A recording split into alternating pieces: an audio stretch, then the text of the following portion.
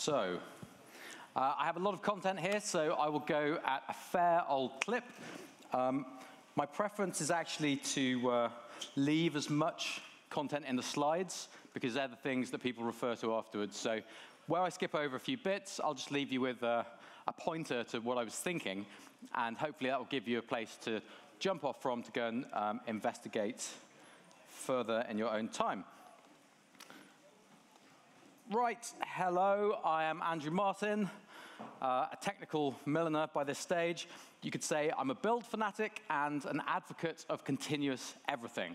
I'm a founder at Control Plane, continuous infrastructure and Kubernetes security practices focused on containers, of course, and I've done a little bit of everything from database administration through operations, development, testing, penetration testing, architecture. And I would like to talk about Kubernetes and network security. So, right. What we want to know is, is this Kubernetes cluster secure? We need to know the state of our systems, its performance, veracity, the load it's exerting. Why not security? If we don't know the state of our systems, we can never know when they've been compromised, or maybe even that they are burning. Everything is rosy when nothing bad is going on, but how do we harden a cluster to be resistant to an attacker that has already broken in? Everything public facing is in a container. So we want to make our containers as difficult to pivot out of as possible. We also need to lock down APIs, access to data stores, so even a compromised system does not give up access easily. This gives us more time to detect the attack and shut it down.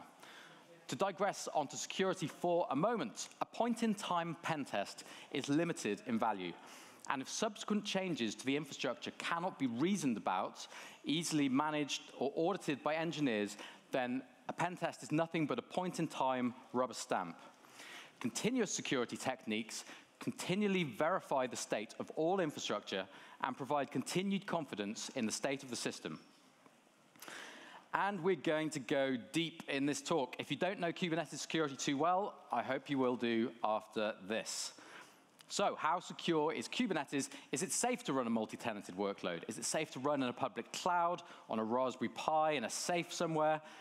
Can we really run Google-style multi-tenanted infrastructure securely? And how do we make sure that what's safe today stays secure tomorrow and persist configuration across cluster rebuilds? So, what we will talk about, common pwns, how to harden Kubernetes, uh, what multi-tenancy looks like, and continuous security. Uh, so, I will whiz through this section um, just in, uh, with a view to time, but back in the day, the kubelet was insecure. Um, there's an argument to say Kubernetes is, is insecure by default.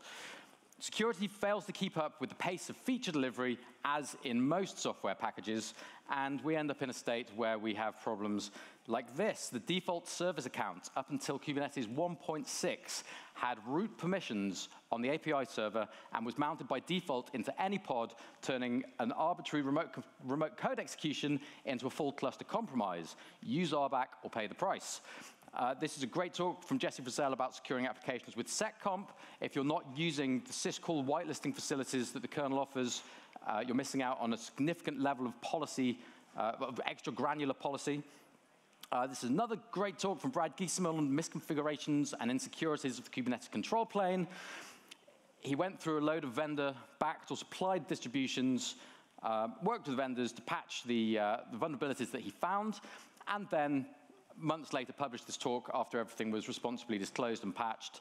Um, of course, like everything in security, it is all about staying up to date.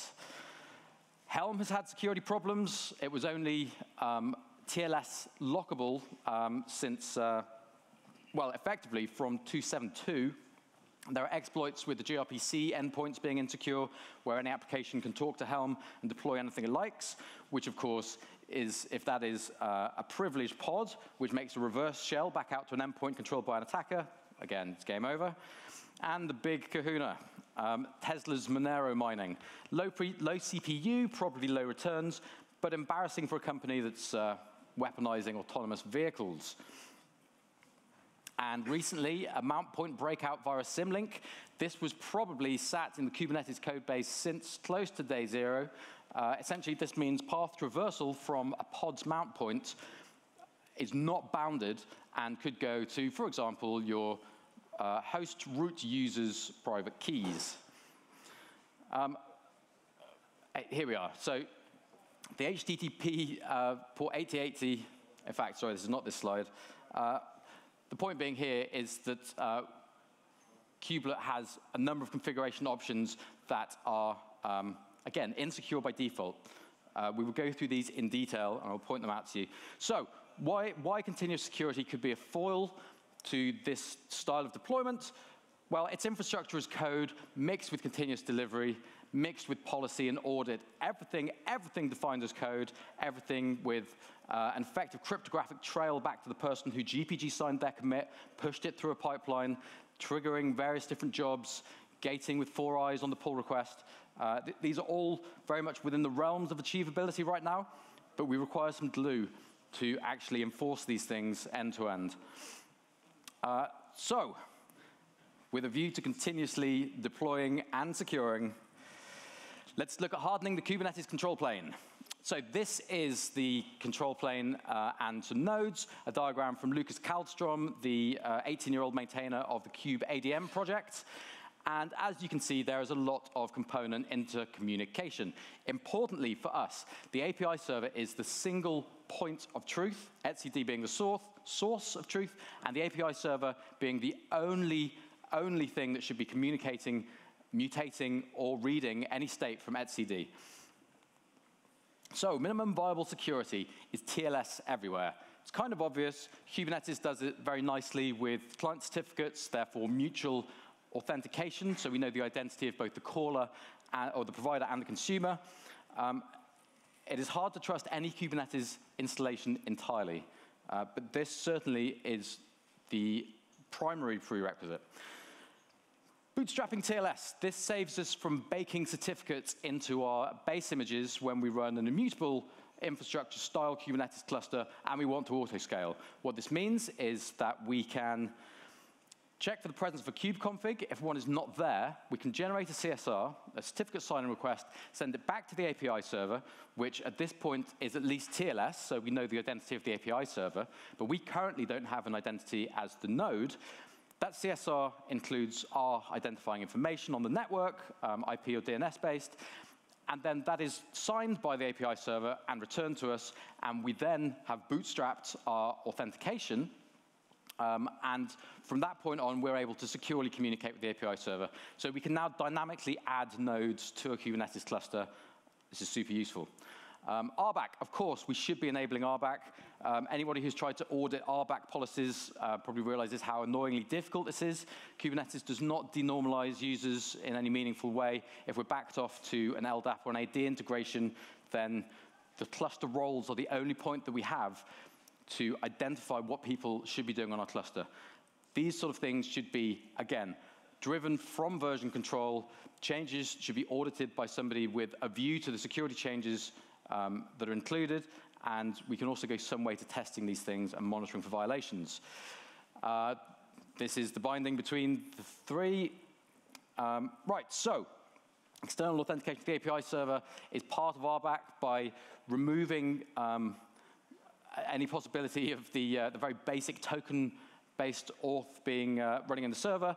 We federate off to a third, uh, third-party identity provider, and that, of course, should be centralized across the whole organization because who's going to offboard a user from your Kubernetes cluster unless it's dealt with by a dedicated team? These problems perhaps only become apparent at a certain size, but I would strongly recommend doing it very early. There are some great tools as with everything Kubernetes, the community is vibrant and has produced a hell of a lot in here. Uh, CoreOS's DEX is a favorite. So, disabling legacy authorization on GKE. This is, of course, important. Uh, the insecure port. This comes up by default on 8080 and is, as it says, it's an insecure port based on the assumption that local network access to the kubelet is the security boundary that we're placing around this. Uh, this is not a good idea at all. This should always, always be disabled. Otherwise, you can make calls like this. Uh, on the local host, if you do manage to get a compromise, which is a non-root user, you still have access to the loopback adapter on localhost. And here we're just making everything um, on the API server is, of course, just a RESTful endpoint. And here we're just seeing, uh, oh, what's the first secret? And then we've immediately got a, a juicy service account out in there. Uh, anonymous authentication, this may not seem like it leaks much information, but actually that will leak your Kubernetes version on the public internet, and you can scrape the GC, uh, GKE address ranges for this information. Uh, I've noticed that GKE do not consider this, um, well, do not consider this a vulnerability by default to have uh, remediated it just yet. Um, and of course, that etcd cluster contains the keys to the kingdom. Literally everything is stored in there. All state mutations and all the read operations go through the API server back onto etcd. If you were using Calico uh, and kops, for example, um, until fairly recently, you had no option but to allow Calico to talk directly, directly to etcd unencrypted. That is a bad look and will cause problems. They now have a solution called Typha, which if you look at the way um, the, the container network interface plugins are dealt with on GKE. They now use a Typha proxy, which proxies those requests to etcd straight to the API server. Um, so that is fixable. I would recommend investigation if you find yourself uh, as one of the many, many people running kops um, with that configuration. And of course, etcd, while it provides client certificates for authentication, does nothing with the data when persisted on disk. Uh, this was the case for a long time. The Kubernetes Secrets API is exactly the same as the config map API, and notably was just base 64 encoding secrets at rest, um, which in fact was a requirement to, to, place them in. So that was the only boundary um, for someone to overcome when they gained access to the disk with the etcd data persisted on it. We can now work around this um, I may be jumping ahead of myself ever so slightly. Uh, this is about rotating keys in general. Um, there are now etcd, there's an experimental encryption provider, which will come up in a later slide, which allows us to place a symmetric key onto the API server that is used to encrypt all the data that the API server writes into etcd.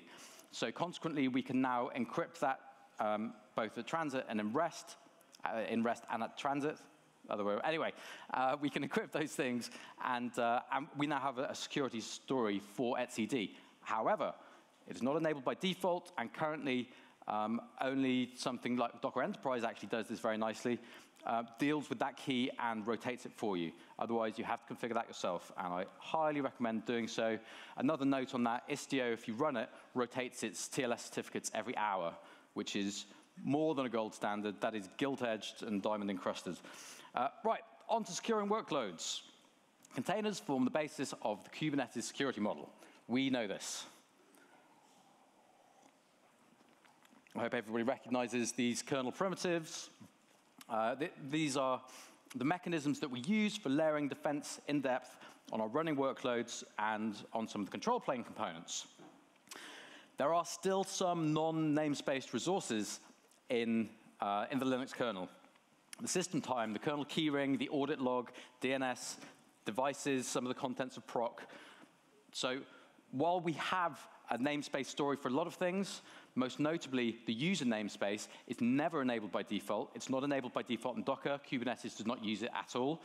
And this means that things like discretionary access control, which is the basis for file system access and users, everything is a file in Linux, of course, including devices, etc. So not having that granularity and the, uh, the full story there means we have some edge cases to work around. And these sort of things are exposed by things like the mount symlink traversal bug because we're relying on different non-kernel-based tooling. The solution to that, unfortunately, is still probably five years away while we wait for somebody to take the synthetic benchmark performance hit of who actually does that check to see who owns what? Is it the kernel? Is it the block device? Is it the file system? Uh, I'm holding out for the file system. Maybe we'll get something uh, referred to as a shift file system, which performs that user mapping for uh, requests as they pass through it. However, if that inode is bind mounted into various different namespaces, immediately the scale and the complexity of the problem becomes clear. So um, I, I thank whoever finally ships that into the kernel. It is certainly not happening now, despite a few attempts. So back to pods, the lowest addressable Kubernetes runtime component. Privileged pods have de facto root access to the host. They are the biggest footgun in Kubernetes. Do not run them if you can avoid it. There are certain control plane components, now that Kubernetes self-hosts itself, that require privileged access. This includes the container network interface plugins because they are mutating rules and they're using capabilities um, on sub 1024 ports that unfortunately require more access than uh, we would hope. But there are lots of things that a pod can do to break out of the container security model. Running as root inside the container, because of the lack of user namespaces, maps to the root user outside the container. Now, this is a semi-conceptual problem that maybe doesn't become so problematic until you actually have a malicious user running as root inside there. OpenShift will not let you run anything as root inside the container. It uses an admission controller to prevent you doing so, and I hope that feature gets ported back into Kubernetes like so much of the other OpenShift security work that they've done. We can also add access capabilities. We can um, run without seccomp. We can open things up with RBAC. We can mount host volumes. We can share the PID, the network, or the IPC namespaces that potentially give us access to other things on the host. Um, of course, I've written a tool to uh, try and deal with that. It's called KubeSec, and it performs static analysis on pod definitions and gives you some human-readable JSON back to say, in this case, uh, and, and, also uh, a list of the reason for all of these being um, security vulnerabilities or dangerous in some way. Uh, and this tool will give you an insight into what you're running and why. And you can see here, for example, privileged containers, unrestricted host access, uh, security context run as non-root is the advice here, because if we set a pod security policy to prevent that from happening, um, we find ourselves in a position where an administrator cannot deploy a pod that runs as root. Um, okay. So, uh, pod security policies, of course, um, uh, it occurs to me that I, I, slightly misdescribed something a moment ago. Um, so, so, the OpenShift model is actually to move users into a random, the randomly generated user uh, in the sort of 30K user ID range. Um, of course, we can set uh, runners non-roots in here as per the previous slide. Um, this is uh, the reference, in my opinion, pod security policy from Tim Allclair, who works on these things at Google, has an amazing document out on the pod sandbox isolation model, which I highly recommend you search for. Um, he has done and is uh, part of a group that is doing a huge amount of thinking around these attacks. So resource linting, also Gareth Rushgrove has a great tool for running unit tests on YAML, essentially. Okay, so deployments. Uh, this young lady is deploying herself apace into the middle distance. Look at that. Congratulations to her for having more guts than me. Um, right, now, labels. How interesting are labels? Probably not particularly, but they're one of the magic things, let's say, that, uh, that underpins Kubernetes and was part of the learning that the Google team got from uh, trying to take Borg to Omega, learning a lot of lessons, and then just rolling it back into Borg. Um, importantly, selectors provide a, a bizarre but really useful security feature. As I said before, for a process to bind to a port beneath 1024 is considered a privileged operation, and it's bound by the cap net bind, uh, it's not quite the right permission, but one of these capabilities. That would mean doing what Nginx or Apache does, starting as root, binding to ports 80 and 443, and then dropping permissions and privileges for the forked processes that it uses to serve the HTTP requests. This is not the best idea because you still, uh, you can't use the pod security policy run as non-root, for example. So Services security feature is to allow us to transparently map, in this case, port 8443 to the services port 443, which means that I only need to address my service via HTTPS service name, and that is transparently rewritten to port 8443 on the pods matching the selectors for this service. It's a super nice feature. Uh, it's, it's, not really spoken about, but I would highly recommend that this is, uh, this is done, and then we bind our applications to port 8443 and do not have to worry about the privilege of starting a container and binding to a sub-24 port. Uh, there's some good stuff about service accounts. Admission controllers have a lot of detail in these slides, and I will gloss over these for now, but suffice to say, this is what happens when you receive an, a RESTful call from a client. First of all, we deal with the API uh, HTTP handling, it gets unbundled, we authenticate and authorize the request, then we mutate, and mutating admission controllers include things like default service account. This means I submit a pod or deployment or whatever, they get broken down and submitted as pods to the admission controllers, and that pod has no service account in its YAML manifest. The service account mutating webhook will say, well, if I'm configured, I will just drop the default service account in there, and this is kind of a hang, uh, an echo through history of the way that Google believed things should be done internally at Borg, which is that everything should have an identity and therefore a service account, whereas for most of our applications, we don't operate at a Google scale, and that default service account provided many years of insecurity instead. Anyway, we have the mutating, mutating admission controller. We validate the schema of the object, and then finally we run the validating admission webhooks. They will be doing things like enforcing pod security policies. So if we're running as root, then that admission controller will say, no way, Jose, we get a fail, um, and then that bubbles back up to the uh, calling user. If all things are well and good and everything has been validated, then all the API server does is persist that call to etcd, at which point the scheduler and controller manager are polling etcd for structs in various different states, with nodes, without nodes, various states of initialization, and thus you have the sort of distributed asynchronous nature of the control plane. Uh, it, it's very elegant for what it's worth. Um, we can now run extensible admission controllers, which means that we can put a webhook with uh, a predefined, they're, they're opinionatedly highly secure. So you have to put the public key of the, uh, the target certificate that you're submitting to, because ultimately, even though we shouldn't do so, environment variables in YAML can leak information. They should only be used for non-secure uh, things, entities, and information. But ultimately, there is, uh, there's an angle here which is now used by tools like Twistlock and Aqua and image scanning tools to say, I will not allow this um, this image, in fact, into this cluster unless it passes these under, um, under one major CVE, for example. Um, there's also some super exciting stuff here happening around tools such as Grafeas and in-toto, which are cryptographic signing and metadata analysis that are all based upon the immutable pod art, uh, sorry, immutable image artifact, and then we can trace back the provenance of that image again to the user who committed the GPG signed um, a bit of code or dependency update or whatever it is. Um, yeah, lots of interesting stuff coming in here. Lots of stuff on admission control that I will not go to, uh, not go into. Um, you'll probably recognize some of these. There are a huge amount of uh, permissions allocated by default to the system node cluster role. Um, and this node restriction admission controller is actually super cool. Uh, used in combination with a couple of other things, it will prevent nodes from requesting secrets for pods that they're not running. So it goes some distance to pr protecting a cluster from a malicious kubelet. Now that story is far from complete and actually very difficult to achieve, but uh, this, this, is a useful step. Uh, pod security policy we've spoken about briefly. It's just an admission controller. Again, we've mentioned these admission controllers um, in GKE, the validating admission webhook. Um, of course, 111 came out yesterday um, and the state of that may, may not be in beta anymore. Uh, that has changed a fair bit since the initial implementation anyway. Here we are with the etcd encryption. This experimental encryption provider config is paramount. You really must run it.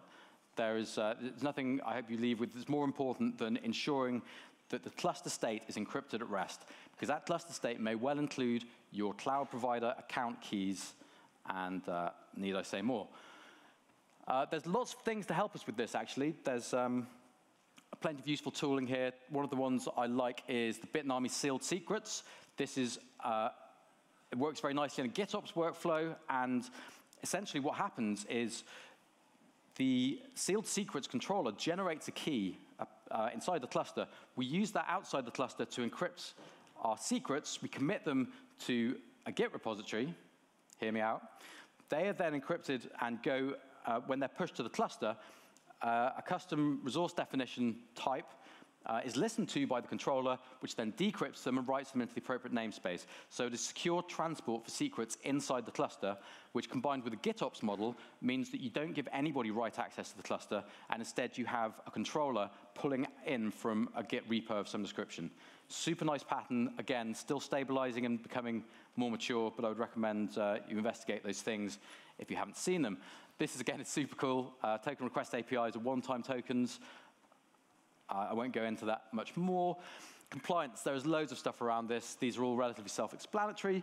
Um, suffice to say, the, uh, the Kubebench CIS scanning stuff from Aqua is very difficult to get a, um, a top score on. Uh, and then, of course, we have all these image scanners. Uh, CoreOS Clair now with Red Hat, of course. Uh, Klar being a really nice integration to prevent you from having to manually post those image layers individually to Clair, which is, uh, which is the way that that works. So networking in Kubernetes is complicated. Uh, abstraction upon abstraction upon indirection. Um, the only thing I'd recommend is to uh, fully understand the networking technology that's being used, be it BGP, Ethernet-based, VXLAN, um, various encapsulation at various layers. There's a lot going on. Um, network policy is only supported by a small subset. I have five minutes to go, so please forgive me if I start blurring words into one another. Uh, this is um, network policy. So it's denied by default, it's failed closed. I really don't like this. It's effect effectively a wildcard. I understand why it's failed closed, but it's a poor user experience. Uh, this is a network policy denying everything but egress on port 53 for TCP and UDP. And uh, DNS is not permissible. That is because DNS resolution is non-deterministic, and there may be global uh, load balancing, there may be DNS round robin. Um, this is forbidden. You cannot put a DNS name in a pod selector. The recommended pattern is to place a reverse proxy on the perimeter of your network segment and use that to resolve. Service meshes, I love service meshes. Istio's damn cool. Uh, what is a service mesh? Well, I'm, I'm, sure people here probably know better than the average. Um, yeah, it's very nice. Uh, thank you for Envoy. Plenty of stuff in here. I mean, that's, uh, yeah, so of course, Istio networking performs some of the same functions as network policy does. It will give you point-to-point -point RBAC. Um, it is essentially a zero-trust networking model because we authenticate and authorize every single request with mutual TLS. That is bootstrapped by SPIFFE, who are having a community day this afternoon if you're interested. SPIFFE has just been integrated in HashiCorp's Consul a Hashi Days two days ago.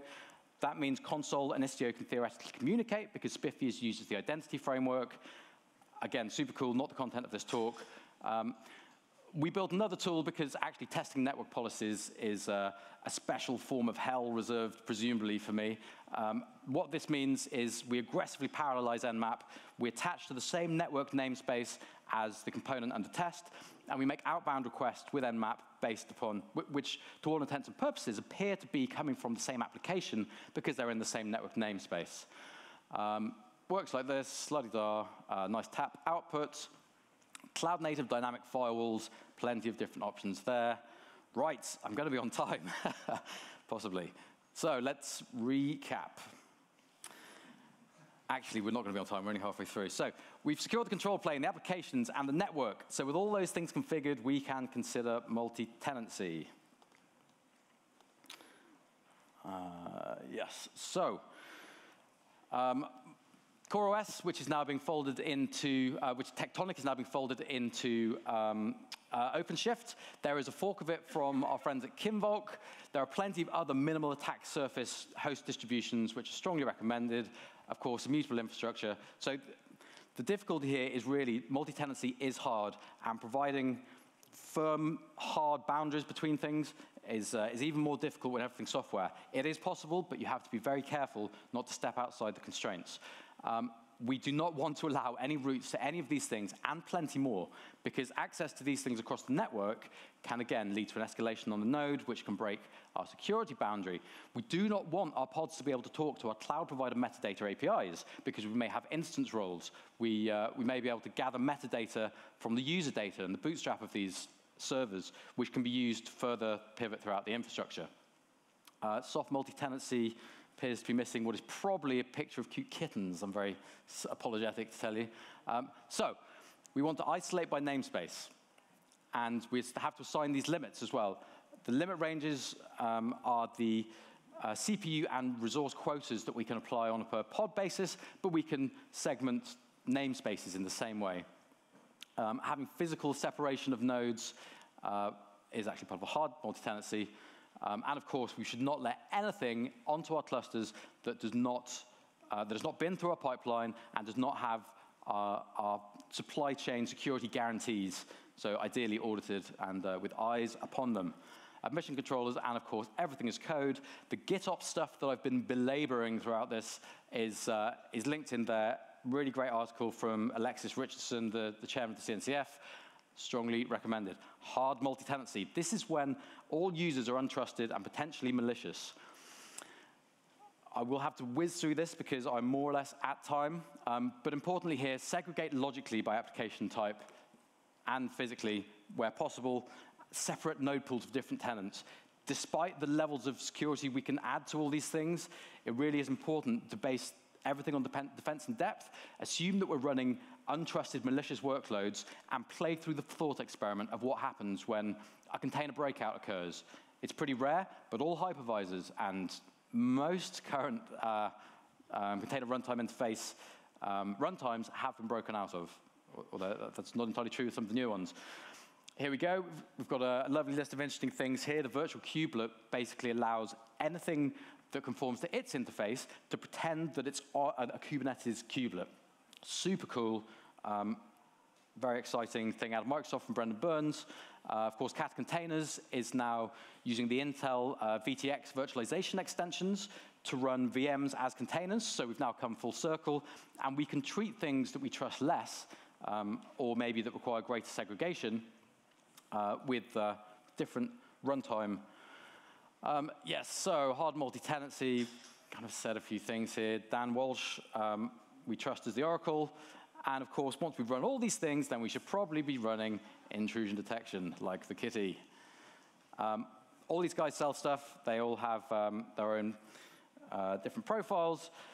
We've spoken about RBAC briefly. We can auto-generate RBAC based on kube control audit logs. Super cool tool.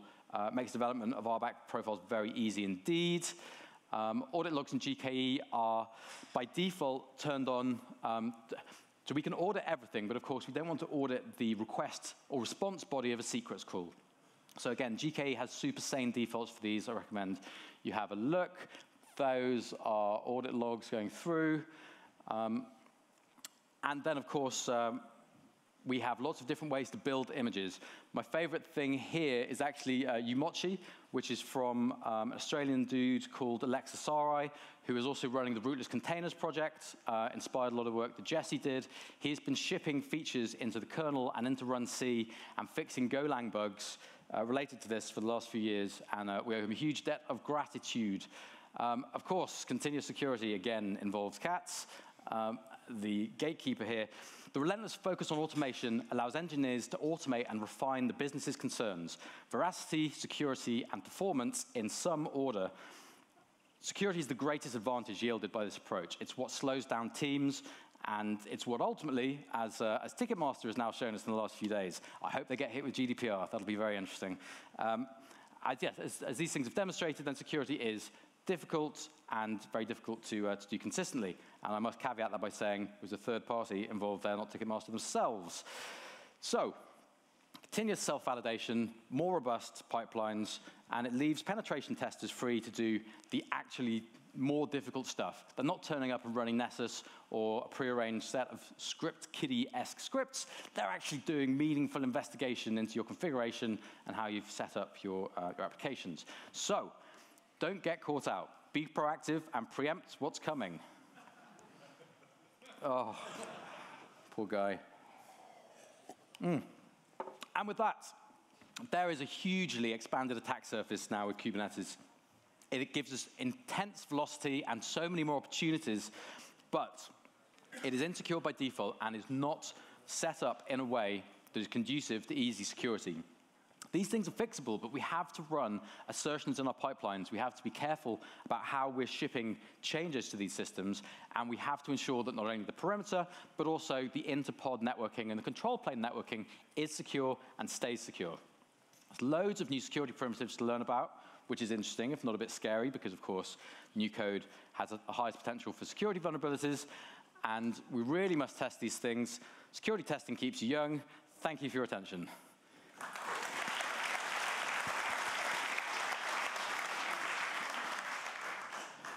Thank you. Who has a question for Andrew? Where? Yes, absolutely. Yeah, I'll, I'll tweet the slides immediately, and uh, yeah, apologies for the intense speed. Any other questions? Over there in the back. Can you catch it? Hi. Uh, do you know what is the impact of a considerable amount of network policies in the performance of communication between pods? Um, I can answer this by dodging the question. Uh, because container network, um, sorry, because network policies are implemented by the container network interface plugin, then it's plugin dependent. So th there's that list of a few. Um, ultimately, most of these things boil down to an intensely uh, complex and painful set of IP tables rules. Container networking is just IP tables. Now, Cilium changes that because it's baking in IBPF, uh, eBPF. Um, 111 is shipping a kube-proxy switch out with IPVS, which is uh, in-kernel um, load balancing. But ultimately, everything else is IP tables, and so you're getting the performance of NetFilter for most of these things, basically. Thank you. Any other questions? No? Okay. Thank you very much, Andrew. Thanks.